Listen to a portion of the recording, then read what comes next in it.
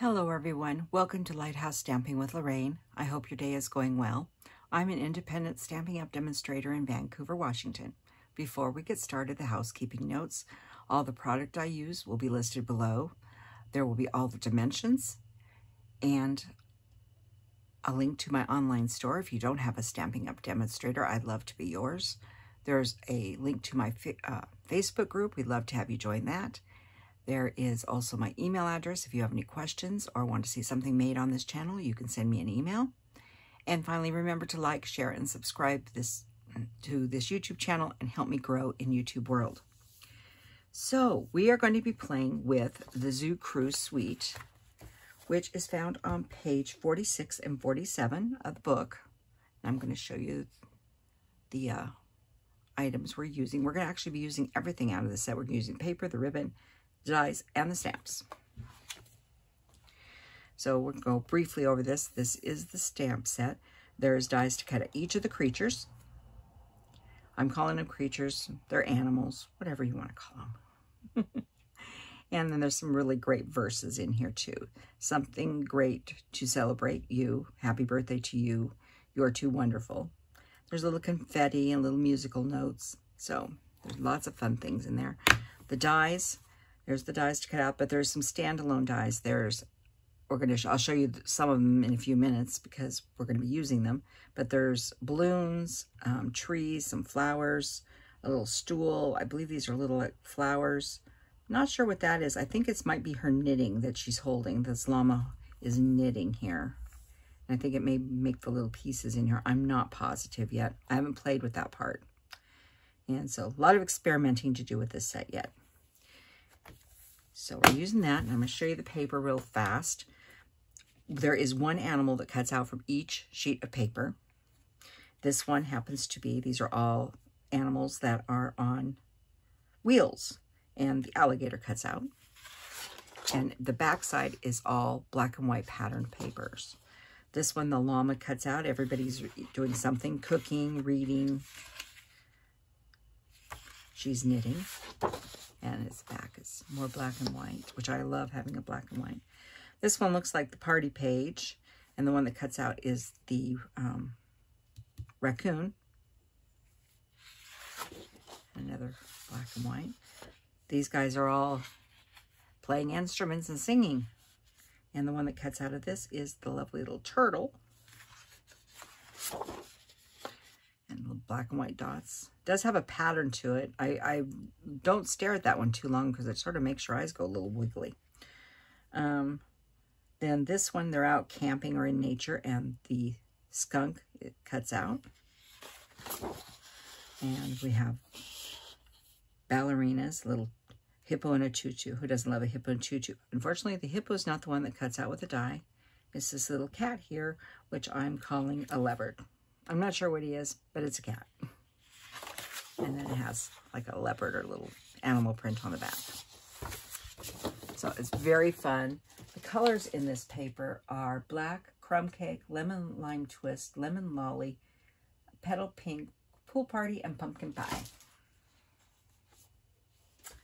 So let me show you what we are making. This over here. There's the envelope of our thing. We're going to use some of the new colors and returning colors. And this is our card. And it's a little stage, and I've built a little band here. I think I'm going to call it the double, double column band card because it is a double column card that stands up like this. This is on the back. And yes, this is overhanging, but the card folds up and fits flat into your envelope like this. I think it's rather cute. And I'm going to teach you, show you how I made these, and we're going to make this together and the flora of the bandstand. So like I said, it's rather cute, I think. So let me set him over here out of my way. So you either need a scoreboard or a trimmer. I'm going to go ahead and use the trimmer. And you need a piece of cardstock that is 10 and 3 quarters by 4 and a quarter. Now I have already scored this one. I I was playing around and I realized I'd scored two of them. So I'm not going to score another one. I'm just going to go over the measurements here. So you're going to first score at three and a quarter, one and a half, two and a quarter, and three. Open your arm up. You're going to score at seven and three quarters. Oop, right there. Eight and a half. Nine and a quarter. And 10. Like I said, don't try to write all those down. They will be listed below. we're going to set that aside. And we'll grab our bone folder and we're going to start burnishing this.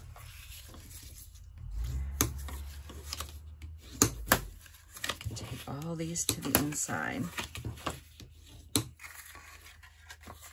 And this one here.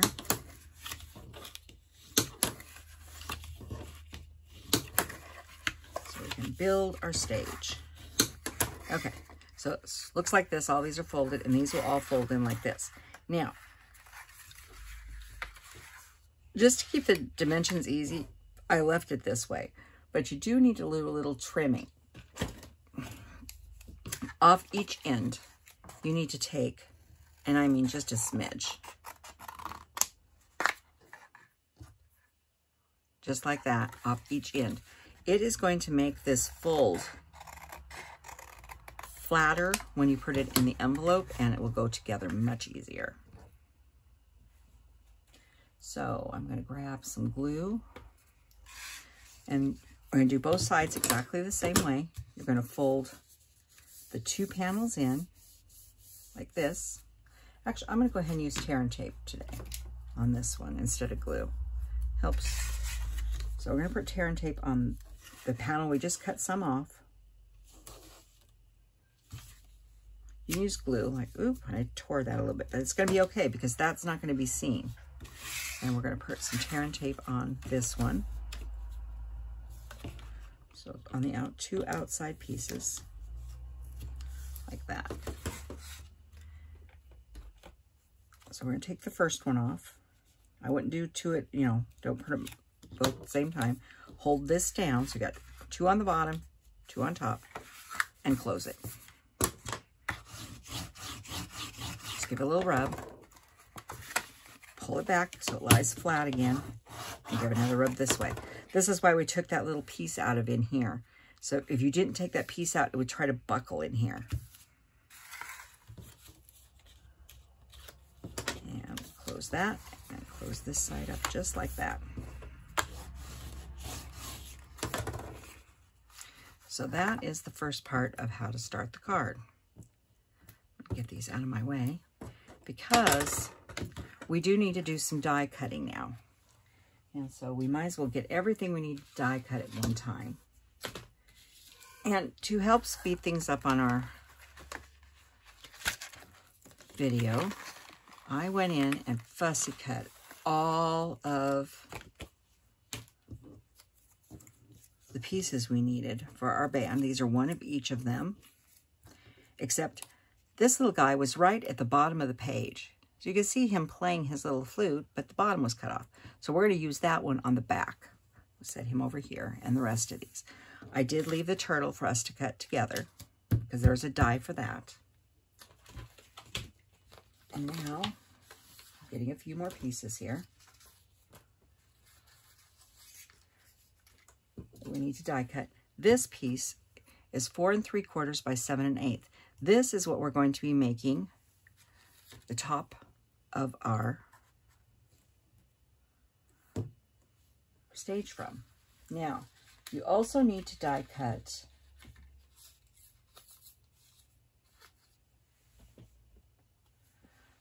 you're going to need four pieces that are three and a quarter by one and a quarter. This is an extra one I cut.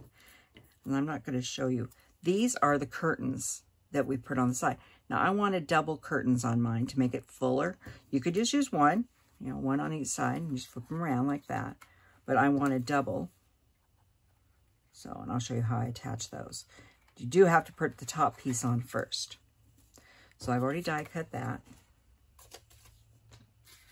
And then this is for the back of our card, which is four and a half by four, which we need to stamp.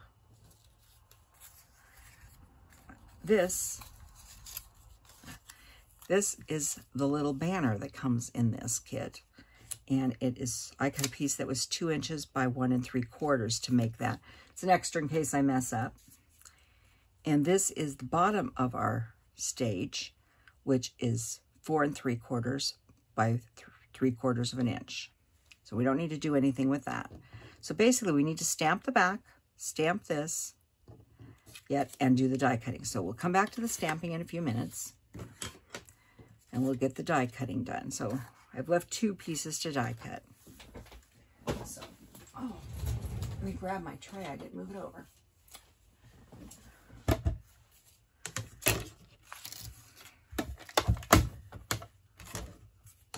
Figured you all knew how to die cut a plain piece of paper. I am rotating all of my plates again today. You need to rotate your plates. So this is the die that cuts out the drapery. This is the die that cut out the banner. And this is the die that cuts out the squirrel, or the squirrel, the turtle. And I'm going to line him up here. And I'm going to grab a post-it. I got some laying around here. We'll just use these. So we're going to cut him out first.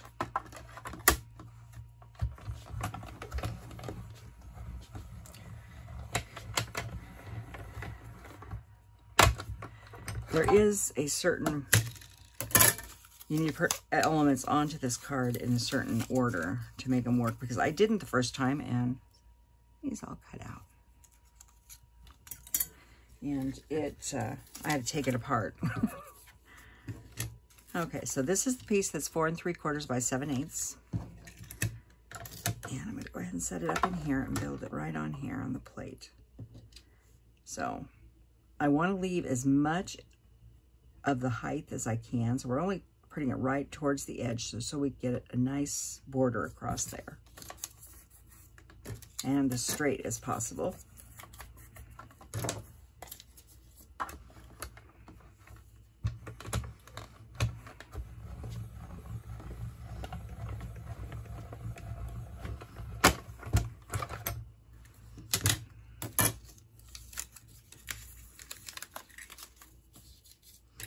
Okay, now you can see it's still hooked.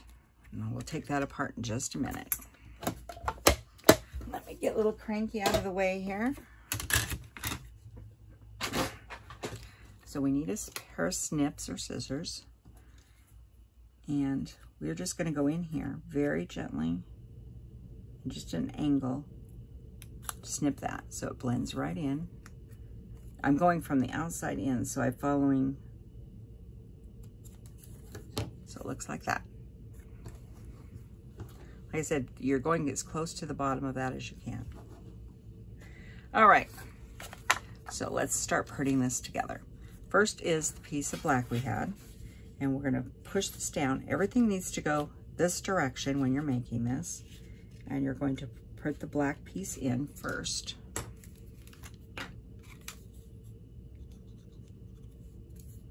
A little bit of glue on each side hold it down and go right to the fold and to the bottom and to the fold in the bottom here. Now it looks like my paper may have been a little too long, but that's easy to fix. Start on the inside here and go to the outside on this side. I am a little long, and it, it sometimes happens you when you're cutting, you just don't get it quite right. Let me just snip that off. So I started here, so I knew that side would be perfect. And then push it back this way and fold it this way again. So there's our tower. Okay, now we need our curtains. I want to put the first, and I'm lining them right up at the bottom of where that piece is and right to the edge.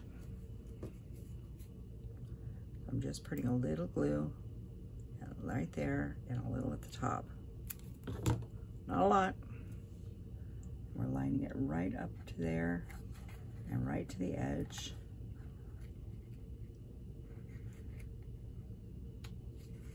Now push it down.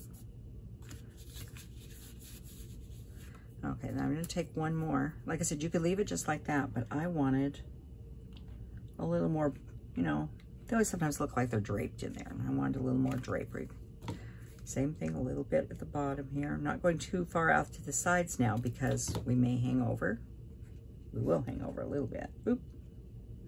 I'm going right to where that little notch is right there. Oop. And trying to put it in here straight.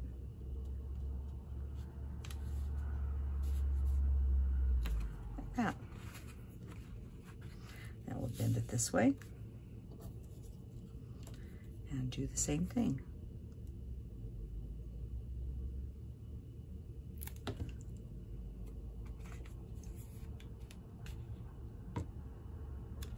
Right to the fold mark.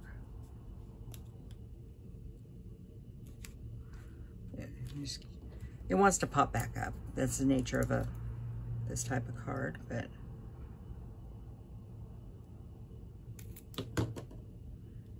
this one. So we're going, so we're just covering up where that is. Like I said, you only, you can put just one curtain if you want.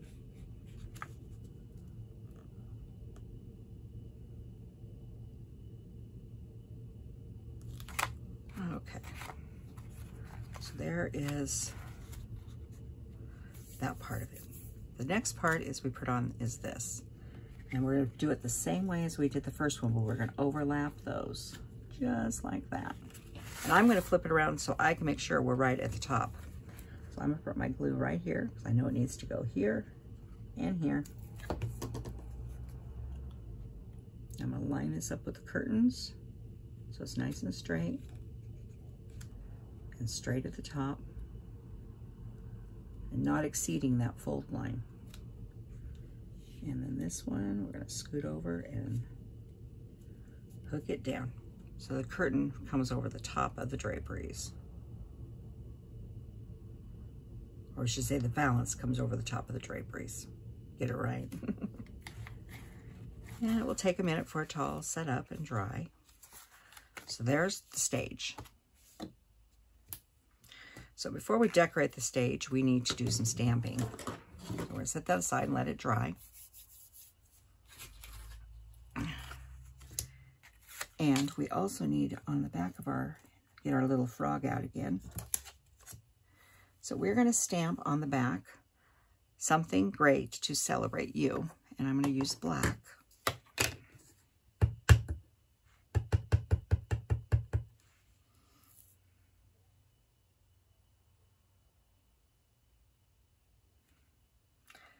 And then I'm going to grab, we're going to do a lot of double stamping because some of the same stuff goes on all of that. We're going to stamp several things at the same time. Now, I'm saying I'm saying something great to celebrate you on here, and this also says happy birthday to you. I didn't want to have, it was just a little much too huge, too many for me. So we are only going to ink up happy birthday. And I'm going to just take a piece of post-it like that. And I've got my piece sitting here ready to go. And I'm going to take my ink. Get nice covered in black. Pull this off. Scoot this down so I can see it.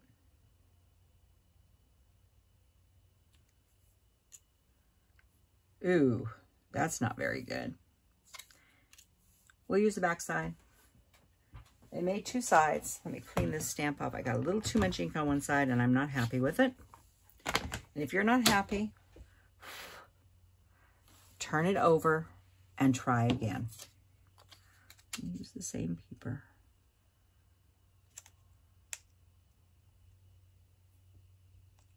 No, we're not. I've got too much ink on there and I'm going to get my fingers too nasty.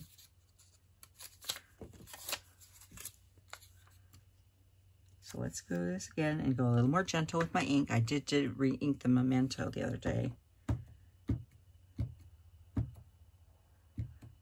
There, I think that's better.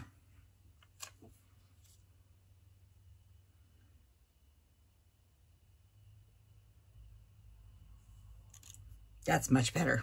got a little too much ink on there. So before we continue with our stamping, I want to put a little guy down here in the bottom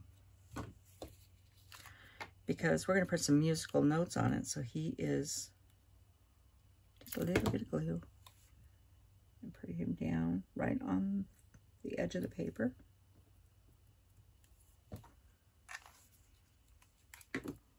Because we're going to start doing some musical notes now. And there's a little stamp that has the musical notes. Get these turned around a little bit. And we are going to use Lemon Lime Twist Azure Afternoon and Berry Burst. And we are actually going to, I'm actually stamping these in a certain order. I don't want the lemon lime twist right by the frog. So we're going to stamp some blue notes and put a few blue notes on here and on our envelope. And then we will clean.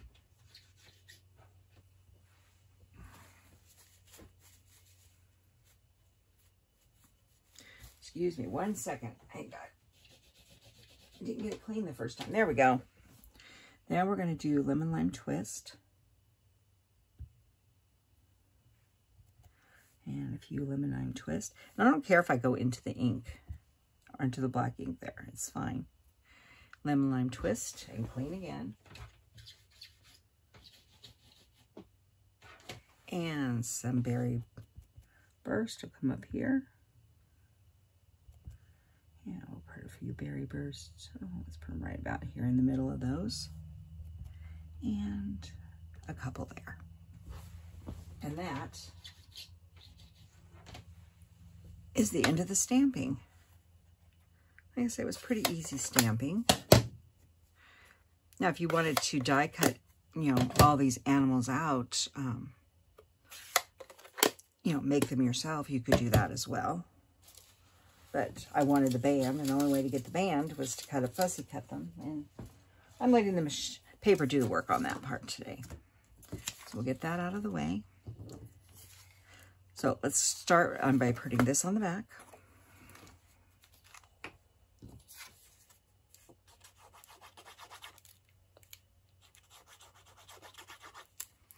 Didn't I just use this glue bottle about five seconds ago?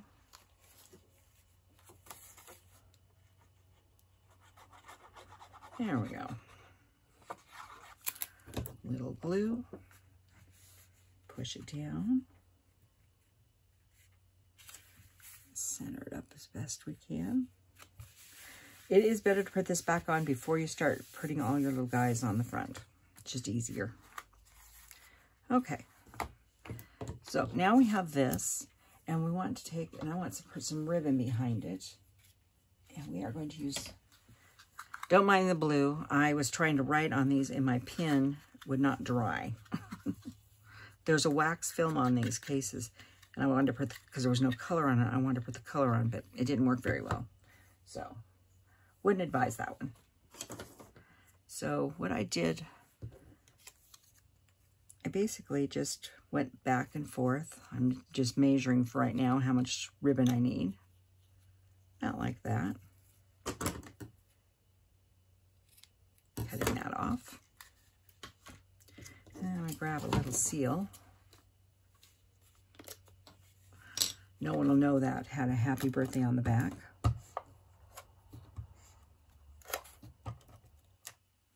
And I'm just going to start this Now, like where I had it before and just curl it up. I just want a little ribbon behind the banner, make it stand out a little bit. Not like that. And then we're going to put some dimensionals on this. If I find my dimensionals. There they are. And we'll put just a couple on here that will also help hold that ribbon in place.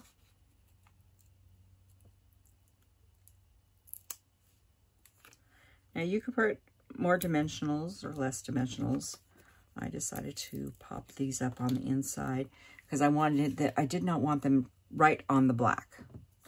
Now, the other one that's going on the back wall, we're working from in here first, is our little polar bear playing an accordion. So we'll put a couple on him.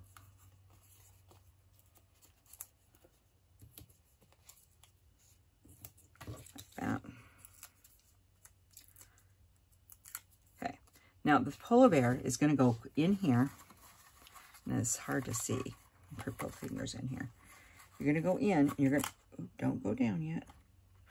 I want to make sure you can just see his feet from here, where you're looking flat at it. And his arm is almost at the wall. And then this is going up here like this, inside here. But make sure you are where you can still read it through this opening on the stage.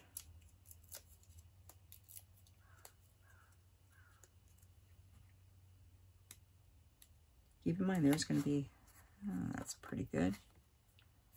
Put that like that. Now we have our band to put together. So get all my little guys out here. And first we're going to put the warthog. I had to think about that for a few minutes, figure out what that was. And I was looking at it and going, what is that? It's not a donkey because he has horns. And then my sister came through and goes, it's a warthog. It's hard. Sometimes you're thinking, looking at something go, what in the world is that? So I'm going to push this down. And I'm actually going to put him on with glue. And he's going to overhang just a little bit off this side. Because when you close it, it'll go this way. And so you can extend over this side. Cannot extend on this side, but you can on this side. So if you wanted to put something up here, you could as well. Put a little glue on that side.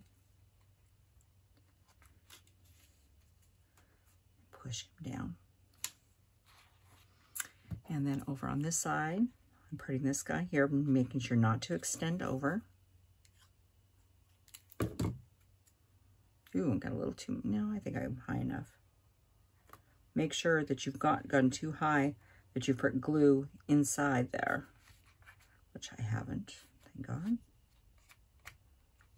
Make sure you don't exceed off the side there. And then we have our, now this one, this guy is facing this way, but this one is facing this way, which is fine. It's just they do face different directions. So I can only put glue on his legs and just the back side here of him because he's going to hook to the draperies. You just have to watch where you're putting the pieces on. Now, I didn't want to pop these up because you know, they're already sticking out.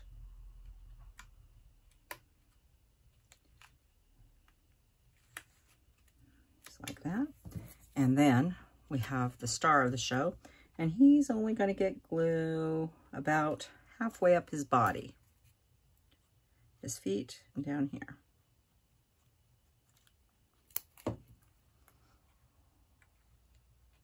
And I'm not making sure they're even or anything because they're all over the stage. They're a band. Bands go everywhere. So, that is our little stage. It's a double column card, folds down flat to go into our nice envelope, just like that. I thought it was rather cute. So, thank you for joining me today I'll put one up so you can see how they stand. Well, this is the first one.